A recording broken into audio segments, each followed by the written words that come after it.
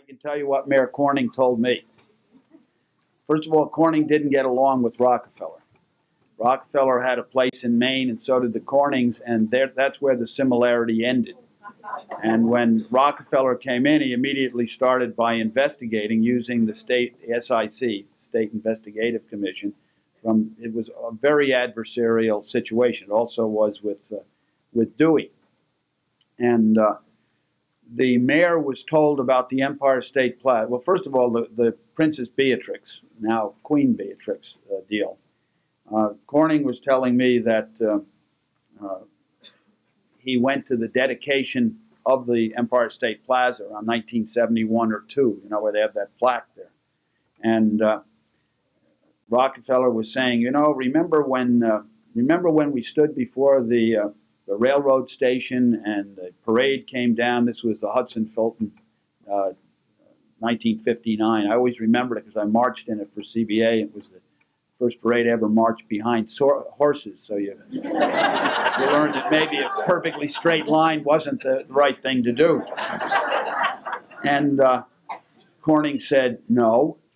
He said, wait, no, no, you, you remember. He said, I remember the parade, but we weren't in front of the railroad station. He said, yeah, you know, the, the, the building down there, the one with the boat on top of it, and so on and so forth. And Corning said, Governor, that wasn't the railroad station. That was the headquarters of the Delaware and Hudson Railroad. It's an office building. The train doesn't pull up there and people don't. no, no, he said that's about three blocks in the opposite direction. That was how well he knew Albany. And as far as the embarrassment of driving through this rundown city, I don't. There are reasons and there are excuses. Rockefeller loved to build. He built Stony Brook and Albany out here and Buffalo and Binghamton into magnificent campuses. He, he changed a string of old state teachers' colleges into a modern university system. He always wanted to have more students than California had, despite the, even then it was twice as large. Rockefeller built everywhere. The thought that Rockefeller would come to Albany for any period of time and not put his mark on it, with or without Princess Beatrix's visit, to me is, is something that I couldn't imagine. Uh, so I'm not sure how, how much of that was a reason versus an excuse. When, when the mayor was called up to the Capitol, it was on a Thursday, and he was told, here's what we're going to do. We're going to take 98 acres. We're going to go from State Street all the way over to Lincoln Park. We're going to figure out something to do with that new executive house, apartment house that uh, that Bill mentioned, and you know we probably won't take that, and we won't take the cathedral. But here's what we're going to build. By Monday, that was in the newspaper. The city of Albany was so enthusiastic that they sued because they were losing over the course of time when cities were really starting to hurt. Uh, they were losing millions upon millions of dollars in tax revenue to run the city. And that's why Corning ran the place right into the ground, because he had a choice of either raising the, the taxes and driving people out, or uh, just ignoring the whole thing and, and trying to limp through. So he limped through and he just overspent and overspent. So the city's deficit by the early 70s was 50% of his budget. And we're not talking debt, we're talking deficit. And then, then the day of reckoning came, but by that time, the mall was starting to open up and it was starting to turn more into an asset and less of a liability, which it was for a decade or more, plus the loss of 7,200 people. Uh, always resented the idea that it was a slum.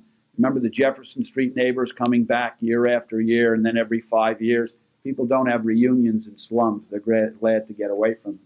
But what happened is Rocky just went won the lawsuit on eminent domain. There was no scoping, no SEQR money, no environmental surveys in those days. You just took it.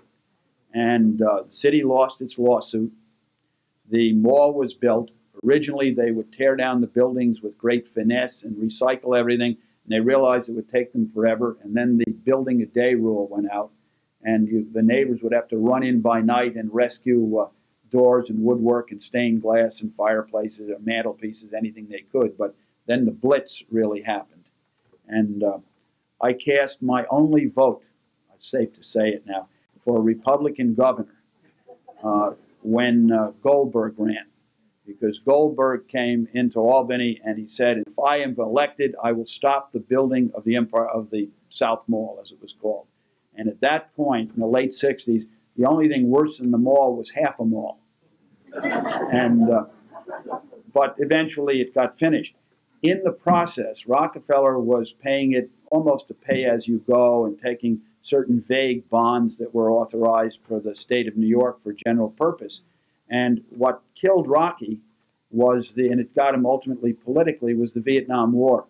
Because with the Vietnam War, you had a labor shortage, a material shortage, god awful inflation that kept going up. So the mall, which was supposed to be $400 million, suddenly was a billion dollar mall. And in order to keep the labor unions happy, and they didn't want any labor uh, interruptions or stoppages.